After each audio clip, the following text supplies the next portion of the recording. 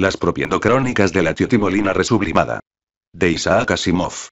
La correlación de la estructura de moléculas orgánicas y sus diversas propiedades físicas y químicas ha proporcionado en los últimos años una visión y visión íntima acrecentada del mecanismo de las reacciones orgánicas, sobre todo en las teorías de la resonancia y la mesomería, según se han desarrollado en el último decenio. La solubilidad de los compuestos orgánicos en variados disolventes ha adquirido un interés particular a este respecto a través del descubrimiento reciente de la naturaleza endocrónica de la tiotimolina. Se sabe desde tiempos muy antiguos que la solubilidad de los compuestos orgánicos en disolventes polares tales como el agua queda acrecentada por la presencia en los núcleos hidrocarbonados de radicales hidrófilos, es decir, de grupos sedientos de agua, tales como los grupos hidroxilo, o, amino, NH2, o ácido sulfónico, SO3H.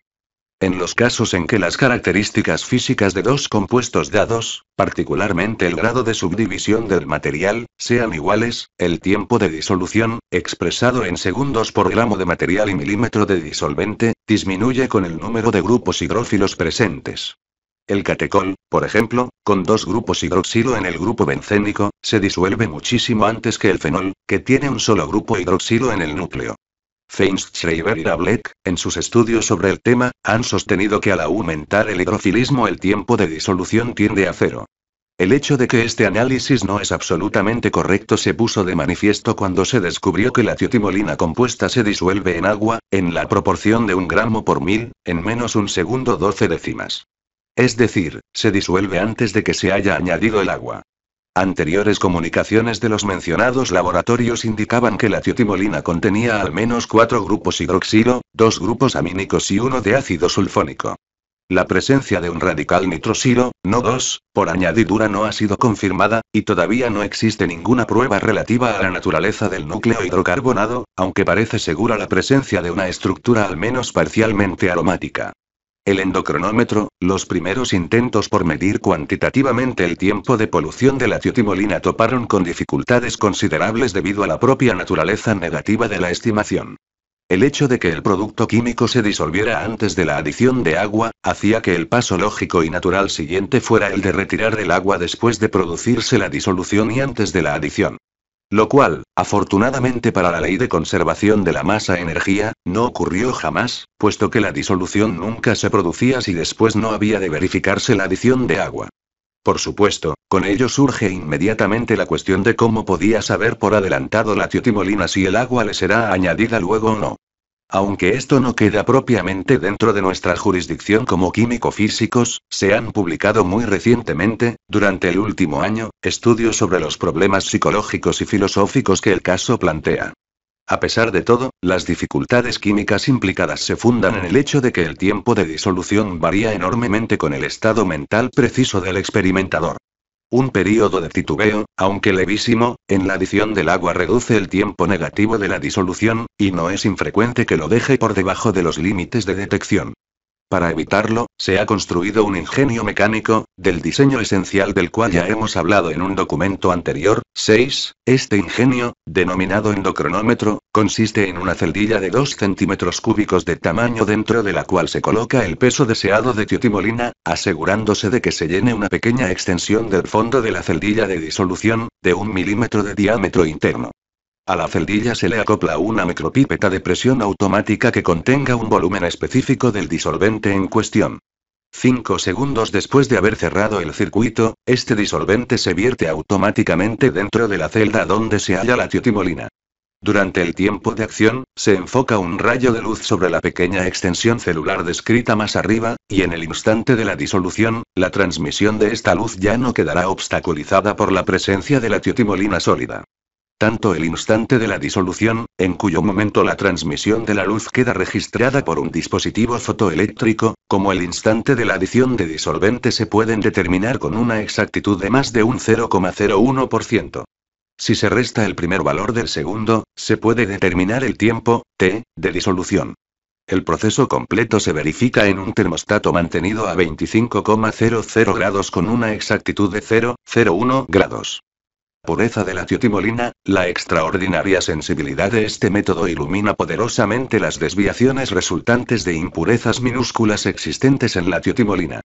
Como no se ha ideado ningún método de síntesis de laboratorio, solo se puede obtener prácticamente a través de un prolongado y tedioso aislamiento de su fuente natural, la corteza del arbusto rosácea Carlsbadensis rufo. Por consiguiente, se han llevado a cabo grandes esfuerzos por purificar la sustancia a través de repetidas recristalizaciones por medio de la conductividad del agua, bidestilada en un aparato de estaño puro, y mediante sublimaciones finales. Una comparación de los tiempos de disolución, T, en varias fases del proceso de purificación se exhibe en la tabla y es obvio, según muestra la tabla I, que para una medición auténticamente cuantitativa, hay que emplear tiotimolina pura como la descrita. Después de la segunda resublimación, por ejemplo, el error incurrido en hasta una docena de determinaciones ha sido inferior a un 0,7%, siendo los valores extremos de menos 1,119 segundos a menos 1,126 segundos. En todos los experimentos descritos a continuación, se ha utilizado tiotimolina purificada en este grado. Tabla primero, 12 observaciones, estado de purificación T medio T extremos por ciento de error ya aislado menos 0,72 menos 0,25 menos 1,01 34,1 primera recristalización menos 0,95 menos 0,84 menos 1,09 9,8 segunda recristalización menos 1,05 menos 0,99 menos 1,10 4 tercera recristalización menos 1,11 menos 1,0 0,08 menos 1,13, 1,8 cuarta recristalización menos 1,12 menos 1,10 menos 1,13, 1,7 primera resublimación menos 1,12 menos 1,11 menos 1,13, 0,9 segunda resublimación menos 1,122 menos 1,12 menos 1,13, 0,7 tiempo de disolución y volumen de disolvente, como parecería razonable, los experimentos han demostrado que el volumen creciente de disolvente permite que la tiotimolina se disuelva con mayor rapidez, es decir, con un tiempo crecientemente negativo de disolución. Por la figura 1 podemos ver, sin embargo, que este aumento de las propiedades endocrónicas se nivela rápidamente con un volumen de disolvente de 1,25 mililitros aproximadamente. Este interesante efecto en meseta ha aparecido con variables volúmenes de disolventes utilizados en estos laboratorios, lo mismo que en todos los casos el tiempo de disolución tiende a cero con un volumen creciente de disolvente. Tiempo de disolución y concentración de unión dado, en la figura 2 se dan los resultados del efecto del tiempo de disolución, T, variando el volumen de disolvente, en el que el disolvente consiste en concentraciones variables de disolución de cloruro sódico. Puede verse que, si bien en cada caso el volumen que alcanza esta meseta difiere notablemente con la concentración, las alturas de la meseta son constantes, es decir, menos 1,13. El volumen al que se alcanza, que en lo sucesivo denominaremos volumen meseta, VM, disminuye con el descenso de la concentración del cloruro sódico, acercándose al VM para el agua a medida que la concentración de NaCe tiende a cero. Es obvio, por consiguiente, que una disolución de cloruro sódico de concentración desconocida puede caracterizarse con toda exactitud por la determinación de su VM, si no hay ni vestigio de otras sales. Esta utilidad del VM se extiende asimismo a otros iones. La figura 3 nos da las curvas endocrónicas para disoluciones 0,001 molares de cloruro sódico, bromuro sódico y cloruro potásico. El VM es igual en cada caso, dentro de los límites de error experimental, puesto que las concentraciones son iguales en todos los casos, aunque las alturas de meseta, AM, son diferentes. Una conclusión de tanteo a la que se puede llegar a través de estos datos experimentales es la de que las AM son características de la naturaleza de los iones presentes en la disolución, mientras que el VM es característico de la concentración de estos iones. La tabla segundo da los valores de altura de meseta y volumen de meseta para una gran variedad de sales en idénticas concentraciones, si se presentan solas. La variación más interesante que hay que observar en la tabla segundo es la del VM con la valencia tipo de la sal presente. En el caso de sales que contengan pares de iones monovalentes, es decir, cloruro sódico, cloruro potásico y bromuro sódico, el VM es constante para todos. Lo cual vale también para aquellas sales que contienen un ion con una sola carga, y otro ion con dos cargas, o sea, sulfato sódico, cloruro cálcico y cloruro magnésico, en la que el VM, aunque igual en los tres, varía notablemente del de los del primer grupo. Por consiguiente, el VM parece ser función de la energía iónica de la disolución. Este efecto se produce también en relación con la altura de la meseta, aunque con menor regularidad.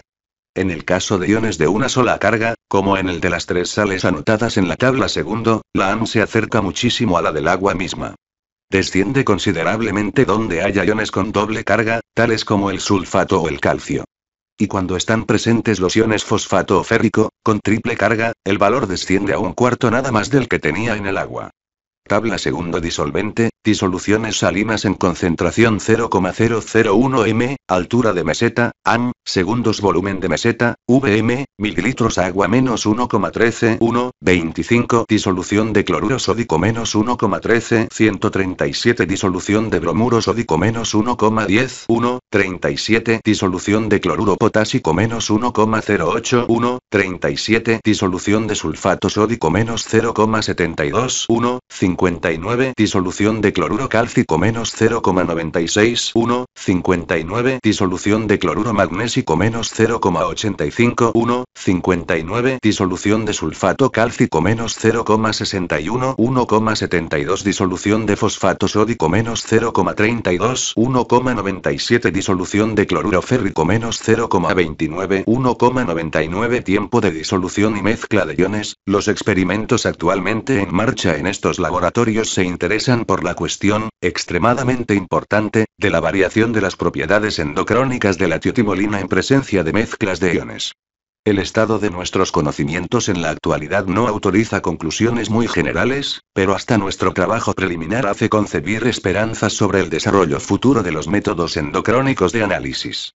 Así, en la figura 4, tenemos la curva endocrónica tratándose de un disolvente constituido por una mezcla 0,001 m de cloruro sódico y 0,001 m de cloruro férrico en disolución. En este caso, pueden observarse dos rápidos cambios de pendiente. El primero en un tiempo de disolución de menos 0,29, y el segundo en un tiempo de menos 1,13, que constituyen las AM características del cloruro férrico y el cloruro sódico respectivamente. Véase tabla segundo. La AM de una determinada sal parecería, pues, no afectada por la presencia de otras sales. Sin embargo, este no es el caso, definitivamente, para el VM, y es hacia la elucidación cuantitativa de la variación del VM con impurezas en el disolvente hacia donde dirigimos ahora nuestros mayores esfuerzos. Sumario, las investigaciones de las cualidades endocrónicas de la tiotimolina han demostrado que a. Para obtener resultados cuantitativos es necesaria una cuidadosa purificación del material. B. El aumento del volumen de disolvente origina un aumento del tiempo negativo de disolución hasta un valor constante conocido por altura de meseta, AM, en un volumen de disolvente conocido como volumen de meseta, VM. C. El valor de la AM es característico de la naturaleza de los iones presentes en el disolvente, variando con la energía iónica de la disolución, y no variando con la adición de otros iones. D. El valor del VM es característico de la concentración de los iones presentes en el disolvente, siendo constante para diferentes iones en disolución de igual energía iónica, pero variando notablemente con la mezcla de segundas variedades de iones.